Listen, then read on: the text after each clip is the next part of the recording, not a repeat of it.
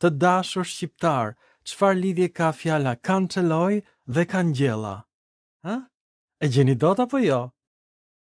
Kangjellat janë një lloj gardhi tek dera apo jo? Kangjellat vihen dhe në dritare në formë rrjete. Dhe vijnë nga latinishtja cancellus, që do thotë rrjet. Po ç'do thotë kançeloj? Fjalën kançeloj e dëgjoj në televizor. Shikoj një intervistë të një avokati të shquar, të jashtëzakonshëm, patriot i madh, që shkruan dhe poezi patriotike në Facebook. E pra, ky patrioti përdor fjalën angleze cancel dhe e përdor siç shkruhet në anglisht. Cancel. Shqiptohet cancel. I jep një shqiptim të bukur shqiptari thotë një kançeloj ai e rregullon shumë mirë. Dhe them ç'është kjo kançeloj, ta shikoj një çikë në fjalor. Pra, kançeloj është shqipërim i jashtëzakonshëm i avokatit nga latinishtja cancellus, Jo, nga anglishtja cancel, që ai s'di ta lexojë dhe e shqipton ashtu siç shkruhet, por në anglisht ndryshe shqiptohen fjalët dhe ndryshe shkruhen sepse anglishtja i ka marrë fjalët nga frëngjishtja, frëngjishtja nga latinishtja dhe kështu është bërë një lëmsh në anglisht që shqiptari nuk e kupton dhe shqiptari e shikon, e shqipton siç e shikon, siç e lexon dhe i thotë një kançeloj nga cancel. Tani do jua tregoj në kompjuter se çfarë ka ndodhur, sepse ju nuk po e kuptoni se ç'është kjo. Çfarë ka ndodhur me gjuhën shqipe këto 30 vjet të demokracisë të dashur shqiptarë? Të dashur shqiptarë, fjala cancello është fjalë italiane, ka kuptimin kangjella dhe vjen nga latinishtja cancellus, që ka kuptimin gardh, kangjella. E shikoni apo jo? Ndërsa fjala shqipe kançeloj Gjithashtu vjen me origjinë nga latinishtja, kjo fjalë hyn në frëngjishten e vjetër që është gjuha e normanëve, të cilët ishin vikingë që u vendosën në Francën e Veriut dhe ata harrojnë gjuhën e tyre vikinge, nordike, mësojnë frëngjisht, një frëngjishte të vjetër që vjen nga latinishtja, dhe kjo fjalë e bukur franceze canceler, që do të thotë pra kryqëzoj ose mbuloj me ndonjë rrjet, mori pastaj kuptimin e fshi fare dikë, e kryqëzoj. Pra, të kryqëzosh me vija në formë kryqi, të bësh një lloj rrjete, mori kuptimin lëvizje e paqëndrueshme në frëngjishten e vjetër, chanceler, Dhe nga kjo chanceler hyn në anglishte dhe në anglishte kjo shqiptohet cancel nga normanët. Anglezët ndryshe i shkruajnë fjalët dhe ndryshe i shqiptojnë.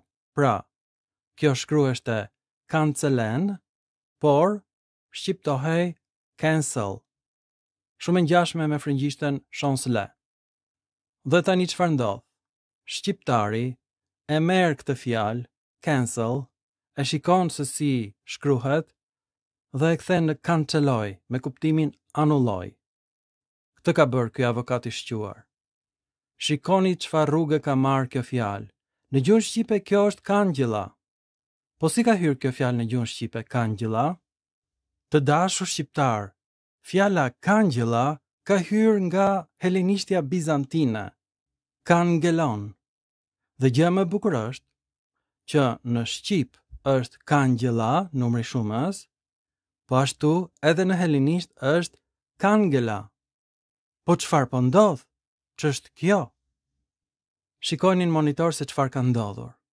Në gjuhën shqipe, është marrë ky shumës i helenishtes i emrave asnjanës dhe është bërë emër i gjinisë femërore. Por a ka ndodhur kjo gjë më parë? Po si jo, ka ndodhur me fjalën arrë. Është gjetur në shekullin e gjashtë, fjalë ilire, ta arua, me kuptimin këto arrat. Por trajta e pashquar është arrë, në shqip dhe në ilirisht ishte Arua. Kjo është gjetur në fjalorin e Bizantit. Pra çfarë është Arua? Është emër i gjinisë asnjanëse shumës. Dhe e njëjta gjë që ka ndodhur me fjalën arrë nga arua, pra një shumës i singularizuar, e njëjta gjë ka ndodhur me kangjellat. Kangela në kangjella, A nuk është kjo e jashtëzakonshme? Pra, kemi një provë të pakundërshtueshme që gjuha ilire është dialekt helen. Të dashur shqiptarë, në fjalorin e gjuhëve indoeuropiane, fjala ara quhet fjalë ilire. Dhe është në shqip, është vetëm në helenisht dhe është në gjuhën e armenëve. Pra është një fjalë e veçantë e gjetur në shqip helenisht. Cilësohet fjalë ilire apo jo? Ilirët përdornin asnjanësin njëlloj si helenët apo jo?